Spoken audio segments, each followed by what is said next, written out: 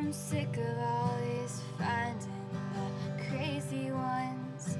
Maybe you're just too much like me.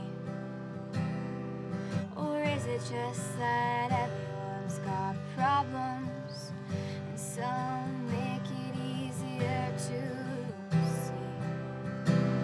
I swear I loved you from the first day you